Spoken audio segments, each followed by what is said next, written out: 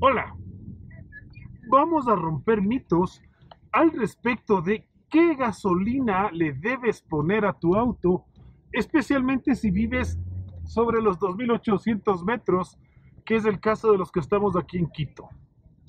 Es diferente si estamos en Guayaquil, por supuesto. Pero a ver, mito número uno.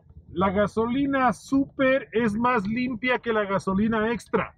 Mentira total. Mentira podrida. Ambas gasolinas tienen exactamente las mismas calidades. Tan sucia puede ser la super como puede ser la extra.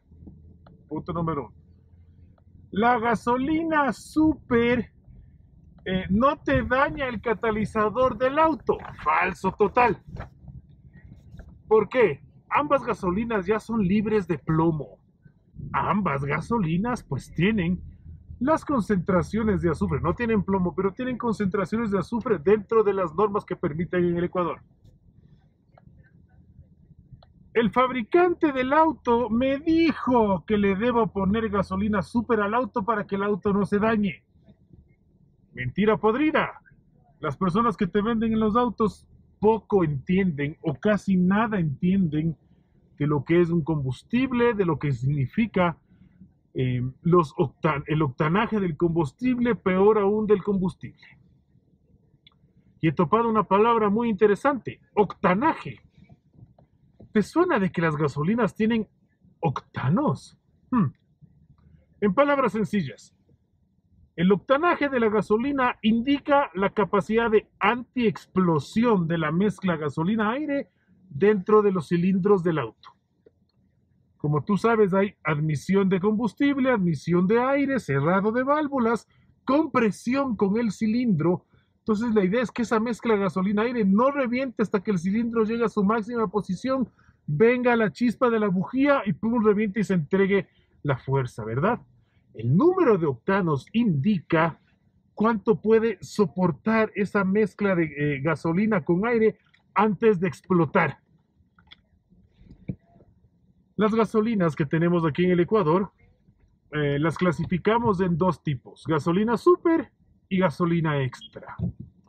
Número de octanos de la gasolina super, alrededor de 92. Número de octanos de la gasolina extra, alrededor de 87-88. ¿Vale? Otro mito más. Si le pongo gasolina súper al auto, el auto va a rendir más. Mentira podrida. Hay personas que piensan que por ponerle gasolina súper al auto, tu auto se transforma en un superauto gana fuerza, gana potencia. No es así. Para que se dé la combustión necesitamos tres elementos. Combustible, comburente y un iniciador o chispa. En Quito lo que nos falta es oxígeno. Tenemos menor presión parcial de oxígeno en nuestra atmósfera porque vivimos por sobre los 2.800 metros de altura. Por tanto, eh, no sacamos absolutamente nada colocando eh, gasolina súper en el auto cuando lo que nos falta en Quito es oxígeno. Listo. Con este asunto de la altura que te cuento, la máquina de tu auto no se va a enterar si le pones gasolina de 87 o de 92 octanos. Por tanto, si estás en la altura, tienes un auto de combustión interna que va a gasolina, no tiene turbo tu auto, no tiene intercooler, bueno, el intercooler es, más propio de los motores dice, pero tu auto a gasolina no tiene turbo y le pones super a tu auto en la sierra, estás botando el, dinero por el tubo de escape. El auto anda muy bien con gasolina extra aquí en la sierra. Vamos ahora a nivel del mar, en la costa y en el oriente ecuatoriano. Ahí las condiciones de presión atmosférica cambian, por tanto hay más presión parcial de oxígeno. Por tanto, vas a tener más comburente para quemar esos octanos que le pones en la gasolina de tu auto. Convendría ponerle en la costa eh, gasolina de 92 octanos.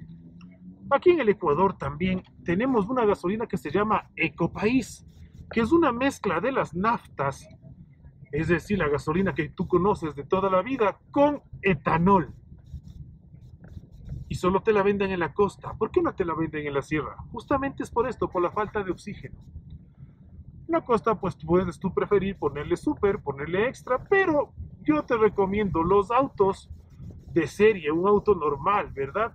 Va a andar perfectamente bien si le colocas la gasolina de 87 octanos, la gasolina extra de 87 octanos. Si le colocas la gasolina super, vas a ver que te rinde un poco más el auto, pero estamos hablando que en 500 kilómetros te va a rendir, qué sé yo, unos 25 kilómetros más. Que de comparación entre super y extra andando en la costa. Y te lo digo porque, porque a mi auto, desde que salió de la casa, como vivo desde la casa comercial.